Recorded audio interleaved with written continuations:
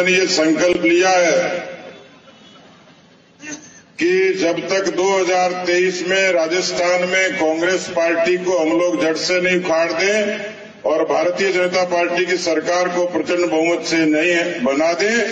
तब तक माला नहीं पहनूँगा, साफा नहीं पहनूँगा और शाम का भोजन नहीं करूँगा।